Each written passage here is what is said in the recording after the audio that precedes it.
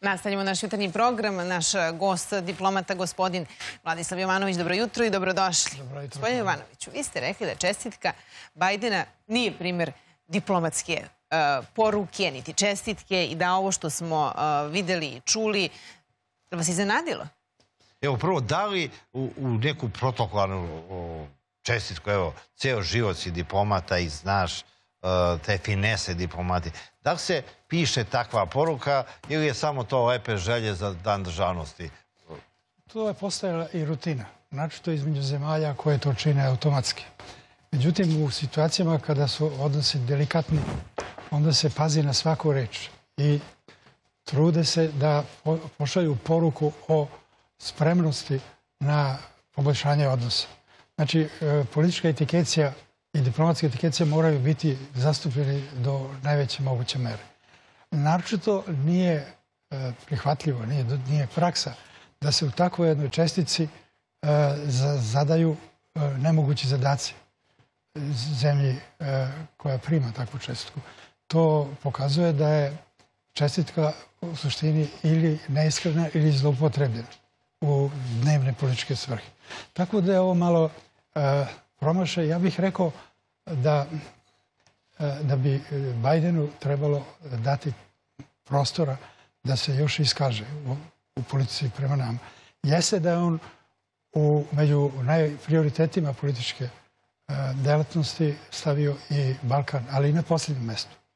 Njega će na šest, šest. Njega će dotle preokupirati mnogi drugi važniji e, problemi. Znači, nema razloga za strah?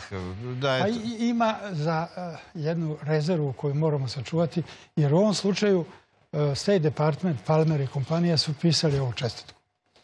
Uh, nikad takve čestitke ne piše šef države, nego diplomatski...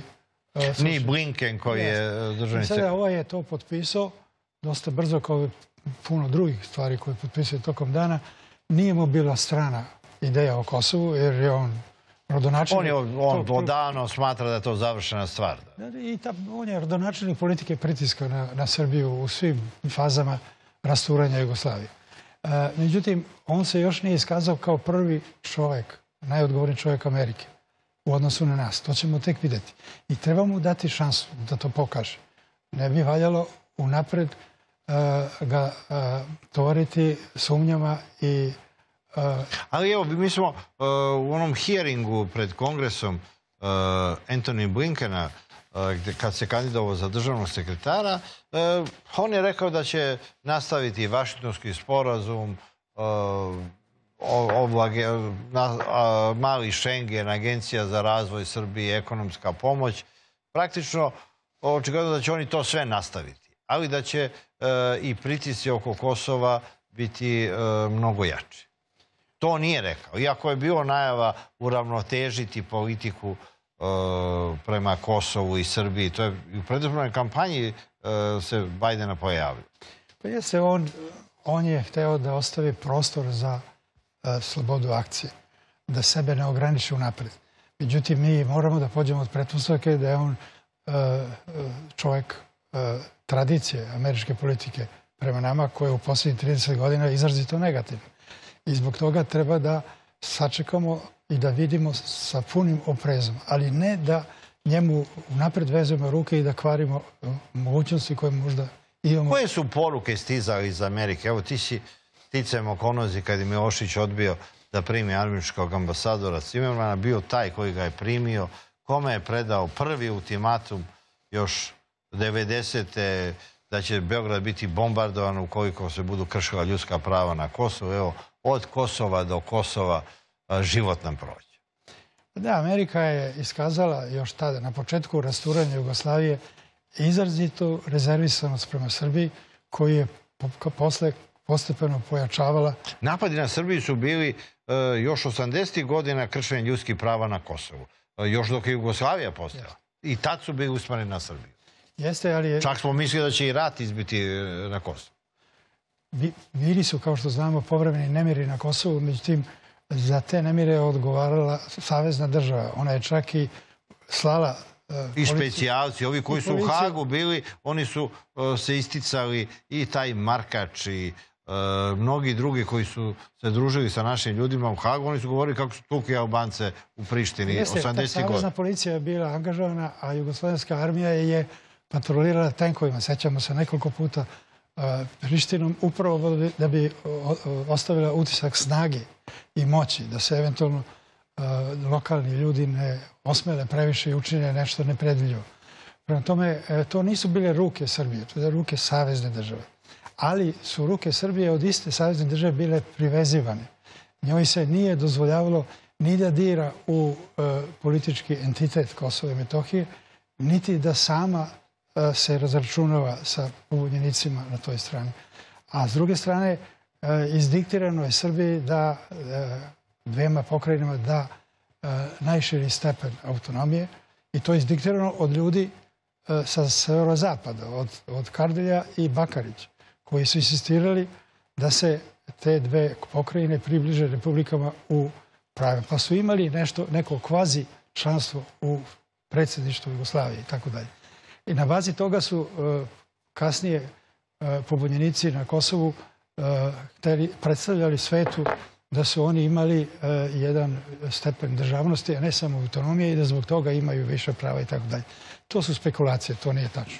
Tako da je Milošević u jednom trenutku bio prinuđen da suzi tu autonomiju, da je svede na, na kulturnu, prosvetnu, administrativnu, a da je liši atributa drža- državnosti. To je ono što izazvalo i lokalne Albance, ali i njihove... Čak su i. Slovenci i Hrvati, e, svi su koristili Albance za destabilizaciju Srbije, još 80. godina. Oni su planirali i Zapad je planirao da proces destabilizacije Jugoslavije, odnosno Srbije, počne, Počne na. Kosovo.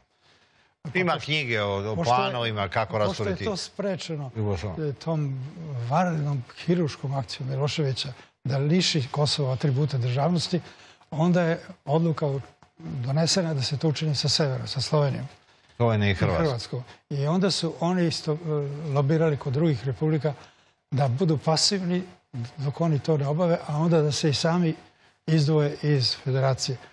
To sve nije bilo slučajno, to je bio plan spolja koji je je- sprovođen sa jednom Da bi se to desilo šta god da smo, da smo da smo dali? E, e, zašto Amerikanci ili Zapad nije zaigrao na Srbe, e, nego na bilo koga ko je protiv Srba? Znači i Slovence, i Hrvate, i muslimane, i Makedonce, i Albance. Oni su Crnogorce, evo na kraju. zapada, to su Britanija i Francuska, su zaigrali na Srbe posle Prvog svjetskog rata zbog svojih potreba u odnosu na revanšizam, Nemačke i opasnost od bolševizma. Tako da je Srbija kao zemlja sa vojničkom tradicijom e, trebalo da drži Njima su Srbi dobri kad treba da ginu za njih. i da budu strategijska prepreka prodiranju uticaja sa istoka i iz Nemačke. Kada su ti razlozi nestali, Posle pada Benskog zida. i, da, i, da, i, da, posle toga neposredno, recimo Amerika je preko svog ambasadora Cimermana svima objašnjavala i federaciji i svim republikama, uključujući Miloševiću, da Amerika nema više strategijski interes za Jugoslaviju. To je bio znak za druge da krenu u akciju. Ako Amerika A to ne- su i tebi govori. to su govorili, ja, e, da, ja sam posle došao, ali prvo su, recimo, Cimerman kad je obišao sve, on je to rekao. Posle toga je Baker došao i Ja govori se, ovo sad su izašle nove knjige, da on baš i nije rekao, pretio Kučanu, e, Tuđmanu, da treba očuvati Jugoslaviju, da je on to rekao drugčije. E, šta je on rekao? Pa nije, on je u svojoj knjizi kazao, a, želeći da ostavi utisak ekvidistance, da je bio podjednako pravedan i prema federaciji, odnosno Srbiji i tim sestjeničkim republikama. Ali u suštini to nije bila ekvidistanca, jer je federaciji i Miloševiću rekao da vi ne smete, ne možete da koristite silu U odbrani vojnu silu, da sprečite druge e, da preuzmu deo vaše međunarodne granice. A mi smo po KEPS-u bili zaduženi e, kao odgovorni za održavanje i čuvanje naše međunarodne granice. Tako da je Marković, predsjednik federa- federa- e, fe- federalne vlade, imao puno pravo da vas postavi kontrolu on je postavio vojsku u Sloveniju, nije Milošević. Milošević je i povukao tu vojsku, je jer je video čemu to vodi. Pa, dužan je bio Marković i Jugoslavija je bila dužna da osigura bezbednost svojih međunarodnih granica. Ona je takvu obavezu preuzela u Helsinkiju, kao i sve druge države. Slovenija je jednostrano povredila tu granicu i preuzela delove granice u svoje ruke. To je bilo bez, nepropisno i e, obavezalo je Jugoslaviju da deluje. I ona je poslala par, par e, kamiona sa tim vojnicima, regrutima da preuzmu kontrolu na granicu. Oni su napadnuti, kao što znamo, neki su ubijeni i taj akt nasilja od Slovenije koji je bio prvi nije nikada osuđen od zapada. I niti je ikad jedan sud im sudio. Zato što je deo- to to je bio bilo ubistvo zajedničkog golobradih vojnika. bio je deo zajedničkog plana na zapadu da se Jugoslavija Evo, stalno o, se govori o udruženom zločinačkom poduhvatu Srbije. E, Srbi su u Hagu to platili 1200 godina robije. Svako ima pravo da se bori za svoje nacionalne interese. Kad god Srbi hoće da ostvare neki nacionalni interes, to je udruženi zločinački poduhvat. I to je ostalo tako tri dece. E sad, e, bile su razne pretnje, razni ultimatumi. I evo to se nastavlja do dana današnjeg. E, vidiš ti kraj tim ultimatum? Pa, kraj će- Kakva Srbija njima će biti dobra? kada budu primoreni da je prihvate takva kakva je, a to će se e, desiti kada se e, geopolitički odnos snaga bude promenio e, dovoljno da Zapad shvati da više silom ne može ništa da čini na Balkanu, nego samo sredstvima diplomatije. I to je ono što bi Ameriku vratilo na, na Ali evo, u vreme. Trumpa smo pomislili da, da je taj stav prevladao prema Srbiji, da neće e, Srbe pritiskati, da će poštovati neke srpske nacionalne interese i tu su te ideje i malog Šengena i e, rušenja granice, sve što bi e, bila e, dobra varijanta za Srbiju. Svaka stabilnost na Balkanu e, je pomoć Srbiji jer odmah postaje najjača zemlja i ekonomski i kulturno i bilo kako, evo vidimo i kad je korona i kad e, treba lečiti ljude, zna se šta je Beograd. Samo e, da se e, prekinu pretnje prema Beogradu. Da, ne, pa ima e, jedna, jedna definicija da je Srbija zbog svojih historijskih, e, verskih, državnih, strategijskih veza sa Rusijom e, stalno nepouzdan oslonac za interese Zapada na Balkanu. I da zbog toga njoj ne treba davati mogućnost da se širi, naprotiv, treba je sužavati i teritorijalno i e, nacionalno. Zbog toga se nije davala nikakva podrška Srbima u, u Hrvatskoj i u Bosni i Hercegovini. Oni su naterivani da se odreknu svojih konstitutivnih prava i da pristanu na položaj manjine. Što je izazvalo... To je bio i plan. E, Milošević bi bio dobar da je pristao da e, se odrekne Srba u Hrvatskoj, u Bosni, u Crnoj jeste. Gori, u Makedoniji. tada bi bio izdajnik. To- Jer napuštati svoj narod u nevoljama, a oni ne traže ništa više nego ono što im je zajednička država garantovala. I to što da je su kon- svim drugima Da garantovano. su konstitutivni narod. Drugi konstitutivni narodi su se izdvajali, oni su hteli da koriste to svoje pravo izjašnjavanja i izjašnjavali su se da ostanu u Jugoslaviji. Pošto im je to osporeno, krenuli su na njih fizičkim sredstvima. Ministre, šta mi u ovoj situaciji možemo da uradimo? Sukob sa Amerikom je van pameti i niko to ne preduzima. E, Kako da se izborimo da Amerika poštuje srpske nacije? E, treba da nastavimo sa sadašnjom politikom vo- vojne neutralnosti, to striktno u svim pravcima i jačanja svog nacionalnog, ekonomskog i političkog... Ko može da nam pomogne? Stalno e, su napadi na Miloševića što je ušao u dramatične e, međunarodne sukobe bez jednog saveznika. Da li sadašnji saveznici Rusija i Kina mogu da pomognu?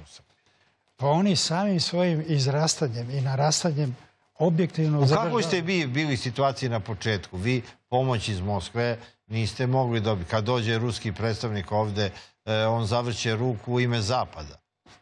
Mi smo po meni mogli da e, dobijemo šansu da pojačamo i poboljšamo odnose sa Zapadom a, u februaru 1992. godine, kad sam ja bio u Vaštonu, Igor Berger, kad je čuo šta smo mi uradili. A mi smo bili zasluženi za prekid e, vojnih aktivnosti u Hrvatskoj i za dovođenje Umprofora radi raspoređivanja To je taj Vensopa. To je naša inicijativa koja je sprovedena i ako se Hrvati tome e, jedno vreme ili duže vremena protivili. I kad sam mu ja iznao sve te stvari, da mi ne želimo nikakve teritorije bilo od koga i da želimo samo da se prava Srba u Bosni i Hercegovini jednako tretiraju kao prava druge dve, tako dalje. On je kazao da e, je to nešto što je sasvim u redu i da mi imamo u odnosu na rasturanje Jugoslavije isti položaj kao Rusija u odnosu na Sovjetski savez. To će reći da smo država prethodnica i da mi nastavljamo... I naslednica. I to se kaže prethodnica, a sve druge su nasljednice. Zašto to nije osva? E, zato što je nastupio rat u Bosni i Hercegovini, koji smo mi e, sprečili time što smo usvojili Kotljerov plan o davanju nezavisnosti Bosne i Hercegovine kao kantonalno uređenoj državi. Na to smo naveli i Srbe u, Bosni i Hercegovini da pristanu. Iako su oni to vrlo znači, nevoljno... A dobili su neke garancije. Ali oni su odrekli i da ostanu u Jugoslaviji i da budu nezavisni, e, da ostanu, da budu deo Bosne i Hercegovine radi očuvanja mira. I Milošević je tada rekao da će, da će on priznati među prvima Bosnu i Hercegovinu čim Kutlijero kroz dve nedelje dođe i kaže završio sam i ove posljednje tehničke stvari.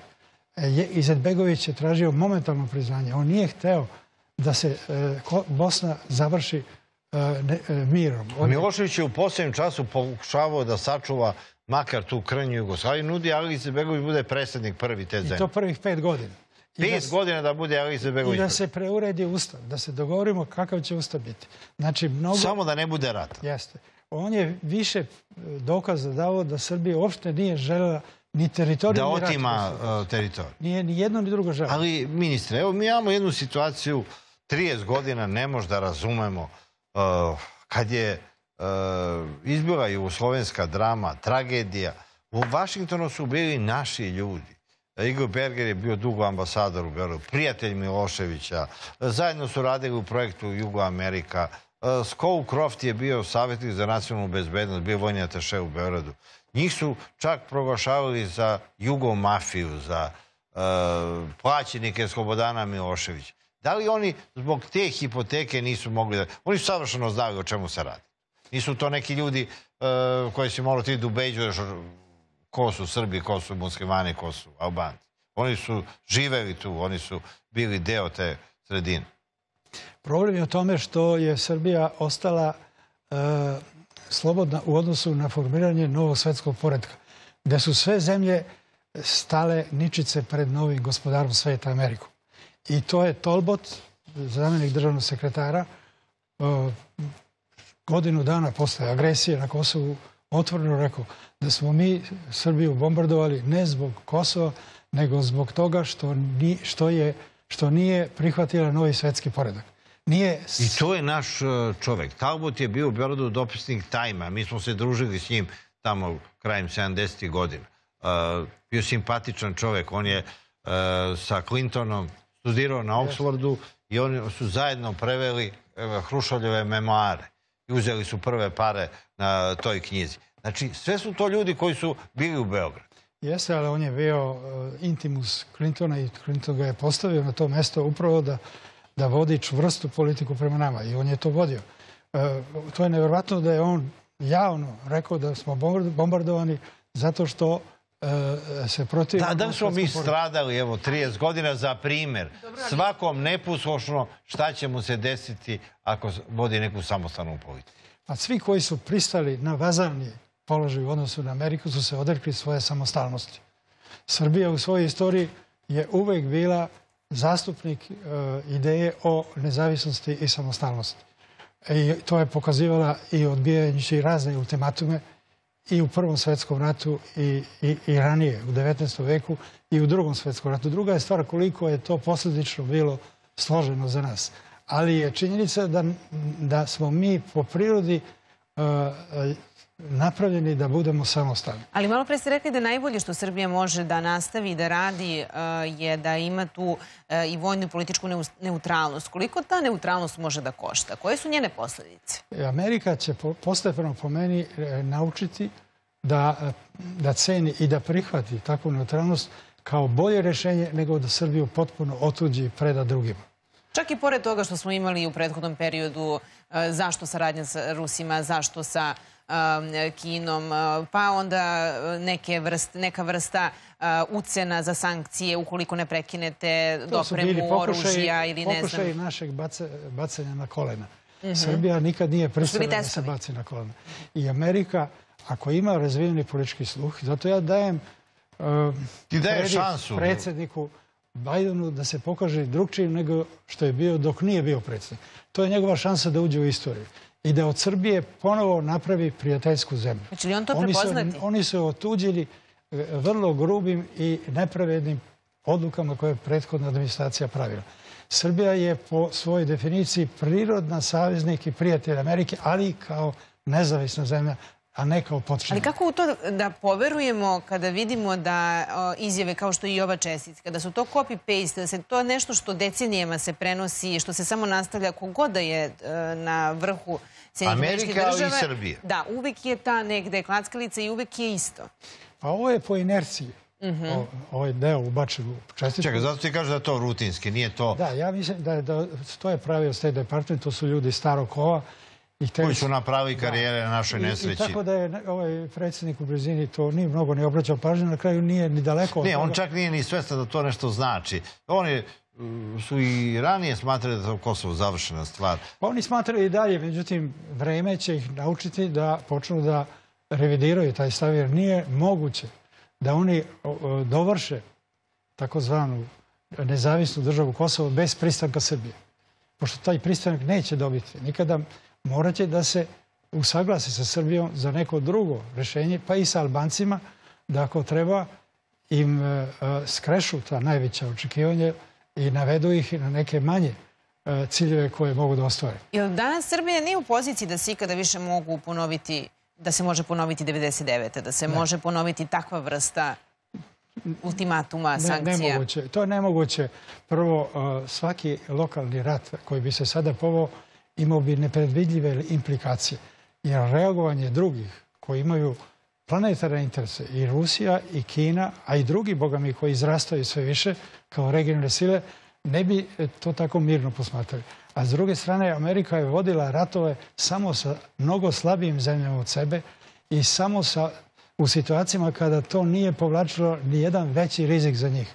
Onda kada je počelo da povlači taj rizik u Vijetnamu, oni su se povukli je Kina izrastala i rekla i ja imam to interes. Prema tome, e, sada je situacija sasvim drugčija.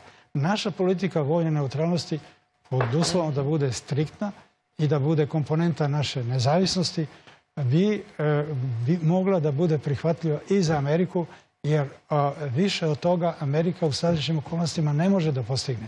Ali može da ima jednu e, garantovano nezavisnu, vojno neutralnu prijateljsku zemlju kao Srbiju koja će e, Ali ministre, mi nismo uspjeli da dokažemo da srpski nacionalni interesi nisu protiv američkih interesa, globalnih interesa, novog svjetskog poretka, e, a nisu. Nikad nisu ni bili, ali su njihovi interesi protiv naših interesa bili. Sada je šansa da to više ne budu. I dajemo šansu... Da uskladimo interes. Da, da, da oni shvate da nezavisna i vojno neutralna Srbija nije na štetu Amerike, da bi, da bi, jer jedno poravnjavanje Balkana a, tim a, e, a, e, e, NATO, NATO-vim nožem, da svi budu članice NATO-a, nije moguće sprovesti, a da neutralna Srbija je garant da će interesi drugih sila sa strane biti zaustavljeni tom neutralnošću i nezavisnošću. A mogu da sarađuju i tako dalje. Prema tome, to je nešto što mi treba da afirmišemo još više i u razgovorima sa Amerikom i drugima, da oni shvate da je to i u njihovom interesu, jer više od toga ne mogu da postignu bez izlaganja mnogo većim rizicima američkih interesa nego li što je to bilo do sada. A da li možemo sada napraviti bilo kakvu procenu ili najatnice na koji ćemo biti na listi prioriteta. Vidimo šta se sada piše dešava. šesti. Šta se sada dešava u svim američkim državama? Šta je protekla godina e, tom društvu učinila? Videli smo e, kako su prošli izbori, da je društvo podeljenije nego ikada, veliki ekonomski problemi, nezaposlenost, dakle puno unutrašnjih stvari i koliko će biti e, prioritetno se bave upravo Srbijom. Pa i to je jedan od razloga. Oni se nalaze pred nekom vrstom neispitanog ambisa. Podeljenost je u svim oblastima Amerike. I najviše će se baviti sobom. Jeste. I problemi koji traju 200 godina sada su dozreli. Mora neko da ih reši. Da li će se rešiti mirnim putem, popuštanjem kompromisima ili nadmetanjem jednih i drugih, to je pitanje koje njima predstavljamo. Lično ne verujem da će Amerika da uđe u, u period e, većih kriza, jer je tako federirana, tak, ima takav sistem koji može da se izdrži mnogo veće pritiske. Ali moraju da reše ova pitanje, jer Biden će e, imati velikih problema ako zanemari to. Na kraju Trump je otišao, što ne znači da se neće vratiti i to na belom konju kroz četiri godine. Ako zanemare te unutrašnje probleme, e, jer, jer nezadovoljstvo dosadašnjom politikom Amerike koja je bila izrazito povoljna za najbogatije e, je u porastu svuda. I Trump je samo vesnik toga bio. Tako Oni su ga pogrešno shvatili i, i oterali, ali ne znači da su i problem oterali. I njega je i korona zapravo Tako da, a drugo imamo koronu koja, Koja je još nije rešena veliki faktor. Mhm. Nigde. I pitanje je kada će biti rešen. E, to je prvi prioritet svake zemlje. Evo vidimo Hvala. neke vakcine se proizvode za 5-6 godina, znači to će To se se- nastaviti. Ne znamo mi plan Borba korona. protiv korone će trajati to je ono što, ja sam negde kazao, uh, e, što će stvarati jedan dugotrajni nered u odnosima u svetu, uh, a n- veliki nered pod nebesima, što sam jedan kazao, je povoljno za revolucije. To je još malo kazao. Znači, veliki neredi širom planete izazvane pandemijom, padom uh, ekonomskog rasta, konkurent, nelojalnom konkurencijom, evo sada oko vakcina ima nelojalne konkurencija, a šta će tek biti ako ovo potraje? E to će stvarati te gejzire nezadovoljstva To će tek da- produbiti ovu priču. Hvala vam najlepše. Hvala. Hvala, hvala na razgovoru. Uskoro se vidimo ponovo. A novi kontingent e, od 50.000 vakcina Sputnik V jutros je e, stigao iz Rusije, dopremljen je u Srbiju. Mislim da je na putu za Torlak, ako već nije stigao, ali sigurna sam da je naša ekipa ispred Torlaka. Oni, oni su stigli. Ivane, dobro jutro. Dobar dan. Kakve informacije imate za nas? Dobro jutro Katarina, dobro jutro svima u studiju i svim našim gledalcima. Kao što si rekla i sami vidite, nalazimo se ispred instituta Torlak. Danas je došao napokon i taj dan, posle 21 dana počinje masovna revakcinacija. Dakle, pre nekih 20 i više dana počeli smo masovnu vakcinaciju i danas počinjemo tu revakcinaciju. Za nekih pola sata ovde će se pojaviti ministar zdravlja Zlatibor Lončar sa još nekim članovima i oni će ovde primiti revakcine kao što je bilo i pre nekih, a, pre nekih tri nedelje. Ono što je bitno za naše sugrađane, ti si rekla da stiže novi kontingent a, Sputnik V vakcina, a, što je istina, evo gotovo da svaki drugi, treći dan dođe po neki kontingent. Imali smo onaj jedan veliki kontingent kineskih Sinopharm vakcina kada je bilo nešto više od milion vakcina.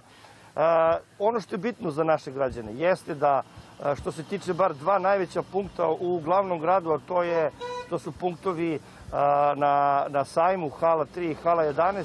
Dakle, danas se tamo počinje masovno da revakcinišu ljudi koji su već primili vakcinu, a oni koji nisu još uvek primili vakcinu, oni se sele na Beo Expo centar. Dakle, u, na Novom Beogradu u bulevaru Milutina Milankovića. Svi oni koji su za revakcinaciju čekaju poziv. Dakle, iz ministarstva su nam rekli da će svako dobiti, pošto je popunio svoj formular, dobiti poziv ili SMS-om ili će dobiti poziv telefonom.